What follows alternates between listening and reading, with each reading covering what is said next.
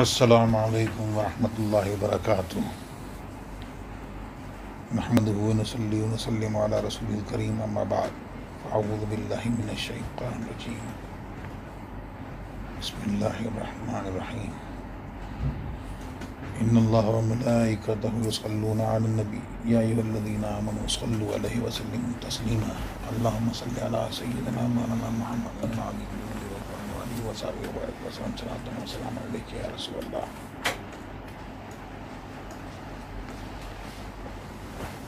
तमाम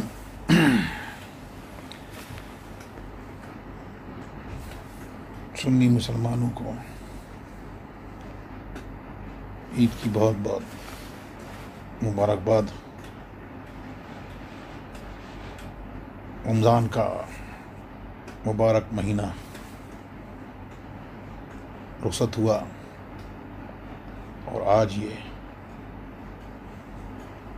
ईद का दिन है।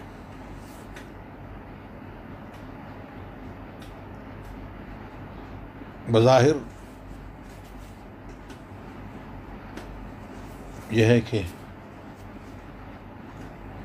कोरोना वायरस पेंडेमिक की मसनू खौफ के चलते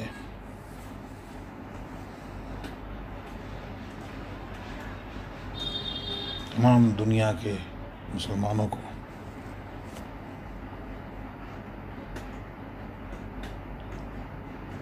ईद की नमाज़ से रोका गया। तो इसमें जो लोग शरीक ना हो सके तो उसमें उनकी कोई पता नहीं है।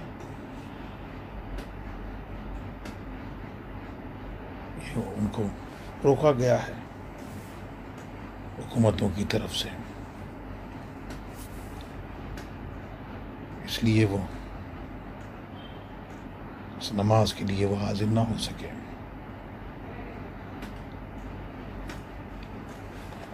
लेकिन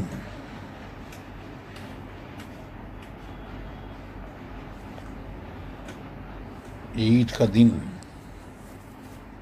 ये बड़ा मुबारक दिन है। और कराम फरमाते हैं कि ईद को ईद इसलिए कहा जाता है कि ये दिन हर साल लौट आते हैं।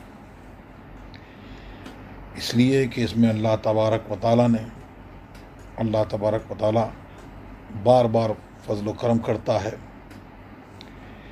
या इसलिए कि उनके आने से खुशियाँ लौट आती हैं। तो बहरहाल तमाम तोजीहत में औद का माना पाया जाता है, लौट आना। तो खुशियाँ लौट आती हैं।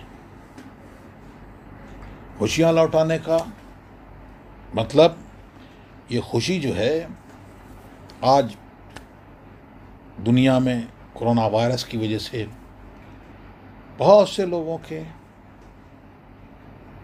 अलग अलग तरह के लाखों लोग बीमार हैं कि ऐसा है तो खुशी नहीं मनाएँगे। अरे ये खुशी ये खुशी तो अल्लाह तबारक व ताली की तरफ़ से तुम्हें दी गई है। हमने, ये खुशी तुम्हें दी गई है।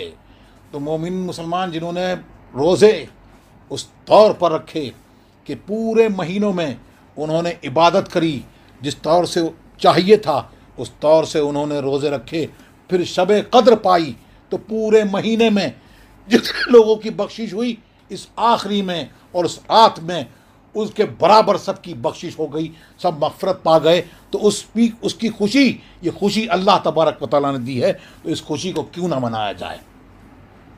एक तवील हदीस में सरकार दो आलम सल्लल्लाहु अलैहि वसल्लम ने इरशाद फरमाया, लंबी हदीस, उसमें फरमाया कि हुजूर अकदस ने आगे फरमाया कि जब ईद आती है, खसूसी इनाम इकराम की वजह से उसका नाम लहरतुल जायज़ा रखा जाता है।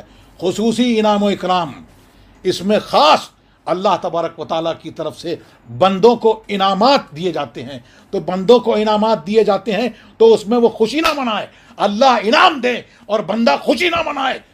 ये कैसा बंदा हो सकता है? ये खुशी अल्लाह तबारक बताली की तरफ़ से दी हुई है।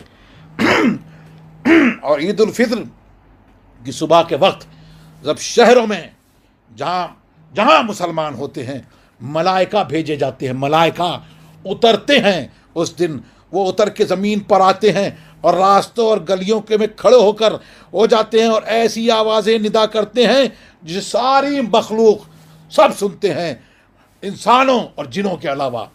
और कहते हैं मोहम्मद सल्लल्लाहु उम्मतियों, सरकार के ग़ुलामों, सरकार के बंदों, सरकार के इश्क में जीने वालों, ऐ सुन्नियों, ऐ मसल के आलात पर कायम लोगों, ऐ मुस्तफ़ा के ग़ुलामों, सुनो सुनो, बाप, रब, उम्मतियों, अल्लाह तबारक वाली रब करीम की तरफ़ से नमाज़ ईद करने के लिए निकल चलो। अब आज निकले तो सब नहीं निकल पाए। उन्होंने कहा तो लेकिन वो फरिश्ते देख रहे हैं कि जालिमों ने रोक दिया तो उनमें उसकी कोई खता नहीं है।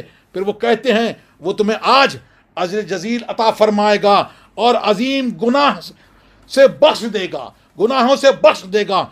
और बंदे, जब नमाज़ के लिए ईदगाह को निकलते हैं, अल्लाह जला मलाइका से फरमाता है ए मरे फरिश्तों बताओ कि मजदूर की जजा क्या है।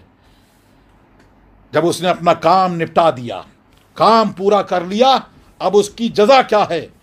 फरिश्ते अर्ज़ करते हैं, हमारे मबूद, हमारे मालिक, इसकी जजा यह है कि उसे उसकी मजदूरी भरपूर दी जाए। तो अल्लाह तबारक वाली फरमाता है, मैं तुम्हें ए फरिश्तों, गवाह करता हूँ, मैं तुम्हें गवाह करता हूँ कि उनके महीने भर के, दिन के रोज़ों और रात की नमाजों का सवाब मैंने ये के, ये किया कि उनके लिए मेरी रज़ा है और मेरी मगफरत है। तो जिसकी अल्लाह ये कहे कि मेरी रज़ा है और मेरी मगफरत है और बंदा ये कहे कि हम खुशी नहीं मनाएँगे। और फिर अल्लाह बंदों से फरमाता है, ऐ मेरे बंदो, मुझसे सवाल करो। मेरी इज़्ज़त जलाल की कसम। कौन? रब फरमा रहा है कि मेरे इज़्ज़त जलाल की कसम। तुम आज अपने दीन या अपनी दुनिया के लिए जो भी भलाई मांगोगे, वो अता करूँगा। सुबह अल्लाह ये है ईद का दिन ये है वो मुबारक दिन। इसमें ये हुजूर सल्लल्लाहु अलैहि वसल्लम फरमाते हैं कि जिसने ईद के दिन तीन सौ मरतबा सुबह अल्लाह हमद ही पढ़ा और मुसलमान मुर्दों की रूहों को उसका सवाब हदिया किया तो हर मुसलमान की कब्र में, हर मुसलमान की कब्र में एक हज़ार अनवार दाखिल होते हैं और जब वो मरेगा, अल्लाह ताला उसी कब्र में एक हज़ार अनवार दाखिल फरमाएगा। सुबह अल्लाह और वहब इबन मुनब्बर रदी अल्लाह कहना है कि शैतान हर ईद पर नहाजारी करता है, रोता है, गिड़गड़ाता है, खुशी वो नहीं मनाता उस दिन, रोज़ा वो रखता है उस दिन।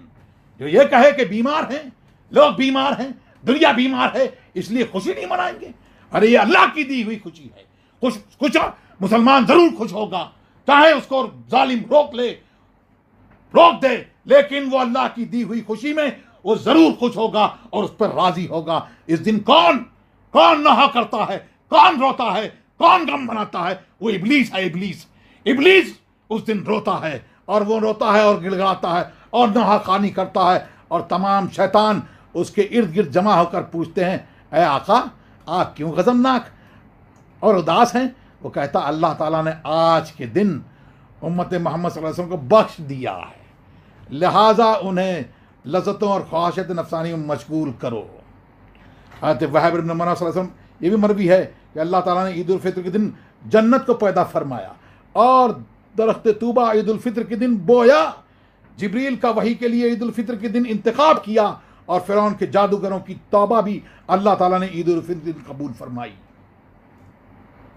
और सरकार दो आलम सल्लल्लाहु अलैहि वसल्लम ने फरमाया कि जिसने ईद की रात तलब सवाब के लिए क़याम किया, उस दिन उसका दिल नहीं मेरेगा, जिस दिन तमाम दिल मर जाएँगे। यानी जिस दिन सारे दिल उदास होंगे, उस दिन उसका दिल खुश होगा, वो दिल नहीं मरेगा। इन एक हिकायत के बाद मैं अपनी बात को ख़त्म करूँगा इन हज़रत उमर रदी अल्लाह ताला ने ईद के दिन अपने बेटे को पुरानी खमीस पहने देखा। तो रो पड़े। बेटे ने कहा, अब्बा जान, आप किस लिए रोते हैं? आपने फरमाया है बेटे, मुझे अंदेशा है कि आज ईद के दिन जब लड़के तुझे अब इस फटे पुराने कमीज में देखेंगे तो तेरा दिल टूट जाएगा। बेटे ने जवाब दिया, दिल तो उसका टूटे जो रज़ा इलाही को ना पा सका। या उसने माँ बाप की नाफरमानी की हो और मुझे उम्मीद है कि आपकी रजामंदी के दुफैल अल्लाह ताला भी मुझसे राज़ी होगा। ये सुनकर हज़रत उमर रदी अल्लाह ताला ने बेटे को गले लगाया और उसके लिए दुआ की। यहाँ पे ये, वो तो बहुत हज़रत उमर फारूक रदी अल्लाह ताला लेकिन यहाँ पे एक दर्स भी है। और ये ताआत में से एक, ये ऐसी ताआत हैं कि जो आसमानों में नहीं है, कि अल्लाह तबारक व ताली ने वहाँ पर वो ताआत नहीं है। क्या कि फरिश्ते उतरते हैं और वो आके देखते हैं? क्या देखते हैं कि अल्लाह ने जिनको गनी किया, अल्लाह रसूल ने जिनको गनी किया किया दौलत से नवाजा। वो लोग फ़करा को अपने घरों से खाना लेके जाते हैं, कपड़े लेके जाते हैं। मैं इसमें जोड़ा, कपड़ा का मतलब मैंने जोड़ा, खाना लेके जाते हैं और वो खिलाते हैं और वो वो फ़करा उस खाने से खाते हैं और अल्लाह की इबादत करते हैं। तो अल्लाह तबारक वाली हमें और आपको सबको इस ईद इस ईद में जो खुशियाँ, इसकी बशारत सरकार दो आलम सल्लल्लाहु अलैहि वसल्लम ने दी और माए कराम ने फरमाई, उन सबसे हमको माला माल फरमाए। और शैतान को नाखुश, आज नाखुश है, पूरा साल अल्लाह तबारक वाली बुज़ुर्गों के सबके में ऐसा कर दे कि इबलीस हम लोगों से मायूस हो जाए, बुज़ुर्गों के सबका तुफैल में वो मायूस हो जाए और उसके कैद से हम लोग महफूज रहें।